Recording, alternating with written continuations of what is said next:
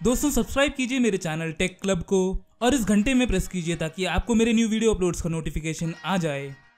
Hello दोस्तों, मैं हूँ Ponu from the tech club और आज इस वीडियो में मैं आपको यूट्यूब का ये new theme anti dark mode enable करने का ट्यूटोरियल दूँगा। मैंने पहले ही अपने टॉप फाइव टेक न्यूज़ के एपिसोड वन में आपको इस डार्क मोड को इनेबल करने का ट्रिक बता दिया था।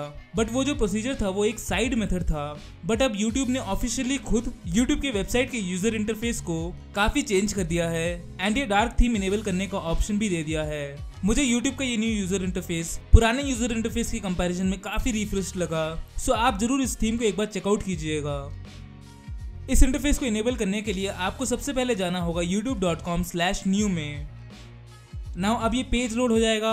इसमें YouTube के न्यू लुक्स के बारे में बताया गया है। जैसे कि अब आपको इस न्यू थीम के साथ एक काफ़ी क्लीन एंड सिंपल डिज़ाइन मिलेगा। इस YouTube के न्यू इंटरफेस में अब आप डार्क मोड भी इनेबल कर पाएँगे, जो कि विजुअली लुक्स में मुझे पर्सनली काफ़ी अच्छा लगा। इस वेब पेज में आपको यहाँ पे नीचे मिलता है ये ट्राई इट आउट का बटन इस बटन में प्रेस कीजिए एंड ये लोड हो जाएगा यूट्यूब का न्यू यूज़र इंटरफेस मेरे हिसाब से यूट्यूब का न्यू इंटरफेस काफ़ी क्लीन है एंड यहाँ पे ये यूट्यूब के थंबनेल्स काफ़ी अच्छे तरीके से ऑर्गेनाइज्ड हैं। सो मुझे ये यूज़र इंटरफेस काफ़ी अच्छा लगा।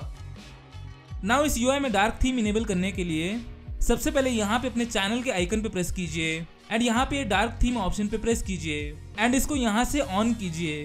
दैट्स इट ये रहा यूट्यूब का डार्क मोड अब यहाँ पे अगर आप कोई भी वीडियो ओपन करेंगे तो वो भी लोड हो जाएगा इस डार्क थीम के साथ। सो ये था मेथड जिसके हेल्प से आप YouTube में न्यू इंटरफेस एंड इस डार्क थीम को YouTube में अप्लाई कर पाएँगे। सो so, इस वीडियो के लिए इतना ही। अगर आपको ये वीडियो इन्फॉर्मेटिव लगा तो प्लीज़ इस वीडियो को लाइक कीजिए। अगर आप मुझसे व्हाट्सएप में बात करना चाहें तो ये है मेरा नंबर एंड और इस तरह के टेक रिलेटिंग वीडियोस को देखने के लिए आप सब्सक्राइब कीजिए मेरे चैनल टेक क्लब को। और इस घंटे में प्रेस कीजिए ताकि आपको मेरे न्यू वीडियो अपलोड्स का नोटिफिकेशन आ जाए।